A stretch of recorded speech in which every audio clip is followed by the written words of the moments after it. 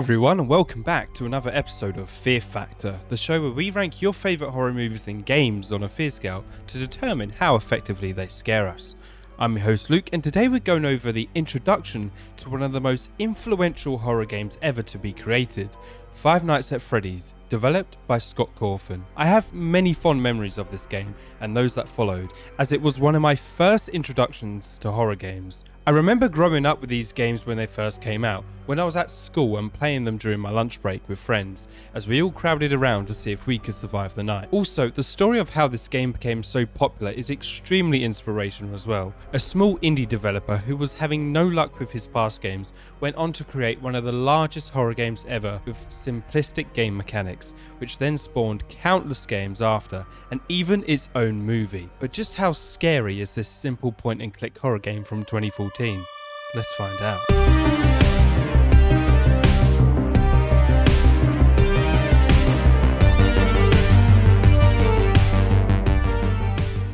In Five Nights at Freddy's, you play the role of an underpaid security guard called Mike Schmidt, whose job is to watch the security cameras in case the animatronics get a little bit quirky during the night. But you must be careful, because you only have a limited amount of power to get you through the night, and not using this carefully could find you getting stuffed into one of the suits. One of the main aspects of this game is its jump scares. The game features six unique jump scares, two for Freddy and one for Bonnie, Chica, Foxy and Golden Freddy. Each jump scare varies in its scariness, with Foxy being one of the weaker ones, whilst Bonnie and Chica's, in my opinion, are the most terrifying due to the lighting and the animations of the scares themselves, which is what Freddy's lacks. Golden Freddy's jump scare sets itself apart from the others due to its spontaneity. His scream is also unique as it is much lower pitched and longer than the other animatronics, which can be heard while his empty eye sockets stare into your soul. In some instances, this jump scare will cause your game to crash, leaving you with a sense of unease. There are some indications that a jump scare is about to happen. For example, Foxy running down the hallway, the breathing of Bonnie or Chica in your ear when they're in the office, being unable to close the door or turn on the light, Freddy ah. laughing, and of course the notorious music box that plays before Freddy's jump scare when your power runs out, which varies in its length, causing the player to be uncertain if they may make it to 6am. The tension is a huge factor in this game, as you constantly check between the cameras and the doors for any movement towards you. It's up to you as a player to pay attention to the animatronic's whereabouts so you can react accordingly. Check the cameras for too long and you may be greeted by an unwelcome guest. From night 2 onwards you especially want to pay attention to Foxy's Pirate Cove as he slowly creeps out and if you see the sign it's me, be prepared for Foxy to run down the hallway towards your office. You'll have to react quick enough to keep him out. As the nights progress, the tension drastically increases as the threat coming towards you becomes more apparent. The sound design is used masterfully in this game to immerse the player in an unsettling atmosphere.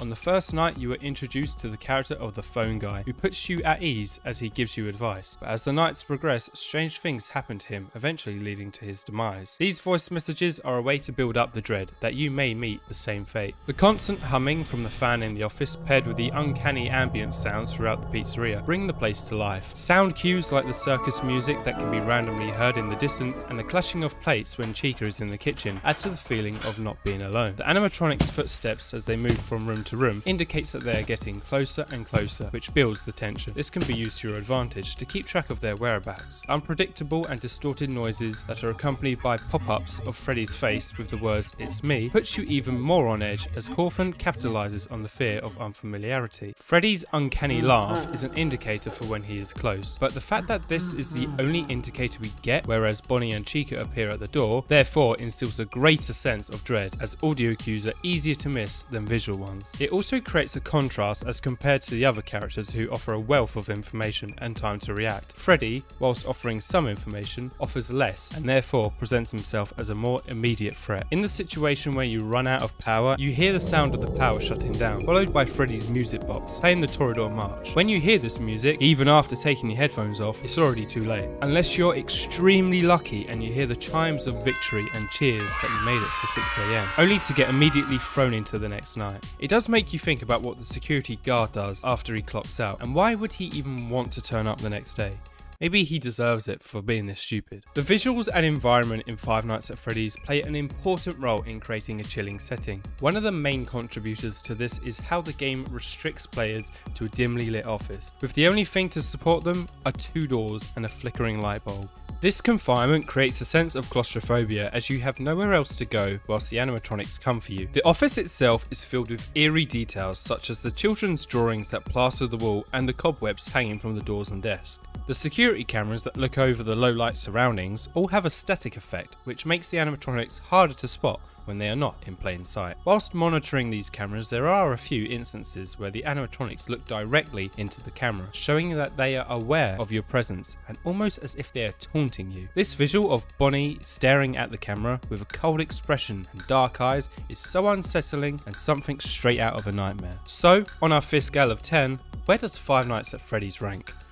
For a first time playthrough, this game is a test to see if your reactions and multitasking skills are good enough to keep you alive. Five Nights at Freddy's constantly keeps you on your feet and limited power forces you to use it efficiently or else you'll die. Whilst the visuals and sound design help create a nightmarish situation, the jump scares are what gets you in the end. Although, after a while playing, they do get a bit repetitive and the effect wears off. For a first time playthrough, I'm giving Five Nights at Freddy's an 8 on our fear scale. Let us know if you agree with our ranking in the comments below. If not, where would you rank this game on the fear scale? Thanks for watching this episode of Fear Factor. Be sure to tune in next time as we review and critique more horror movies and games to determine just how scared they make us. And remember,